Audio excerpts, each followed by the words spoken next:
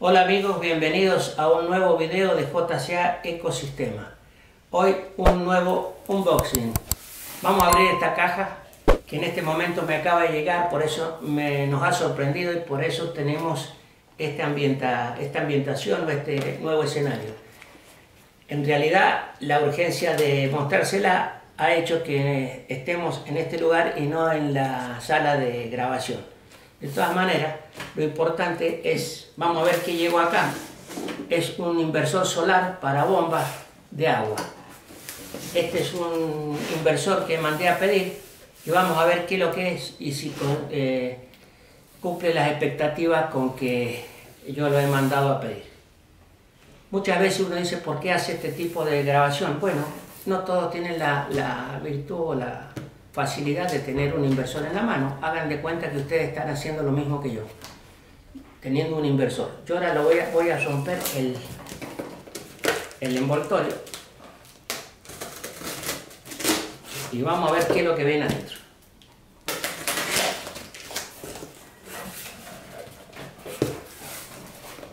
Viene bastante bien empaquetado. Bueno, acá trae un CD. Eh, este CD eh, es para pasarlo por internet. Usted puede con estos cables hacer un enlace a una computadora a través de internet para chequear qué está haciendo el inversor o qué está haciendo en este caso la bomba solar. Este es un inversor que va a ser instalado en una bomba solar para bombear agua. es un inversor bastante potente, está bastante bien embalado.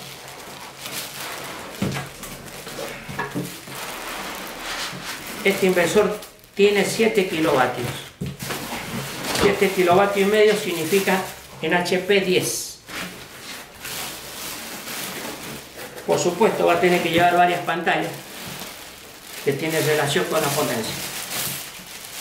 Pensé que era más grande yo, en tamaño, pero esto es... Las cosas buenas a veces vienen en envase chico. Es un buen inversor, tiene la entrada, la salida, la entrada, los botones de programación, los botones acá de, programación. A ver. A ver. Acá están los botones de programación y acá está el manual. Bueno, parece que tienen de 2 kW y medio, de 11 kW y este es de 7,5 kW. 7,5 kW ya les dije representa 10 HP. Un motor de 10 HP en una bomba puede sacar hasta de 80 a 100 mil litros, depende de la profundidad del pozo. Bueno amigos, eh, a ver qué datos les puede interesar. Eh, el tipo de cable 15 A tiene que soportar 15 A. Los terminales tienen que ser de 4 milímetros y medio. Y el torque 1.4 newton de aprete. Eso normalmente es así para no romper los conectores. Tiene una comunicación remoto, como le dije recién, que es esta. Esto es muy importante, casi todos los equipos sofisticados tienen comunicación remota.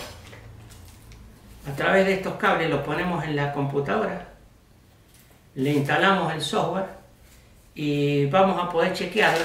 Supongamos que yo tengo una finca que está bombeando en, qué sé yo, a 10 kilómetros de mi, o a 100 kilómetros también podría ser. Yo a través de internet, con este software, con estas conexiones y una computadora, puedo determinar el rendimiento, el funcionamiento, si está andando, si está parado, eh, todo, absolutamente todo.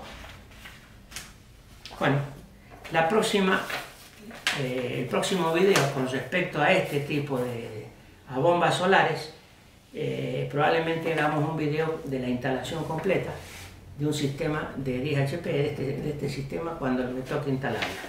Si se suscriben y están pendientes de esto, en algún momento va a salir un video de la instalación completa. Amigos, esto ha sido todo por hoy.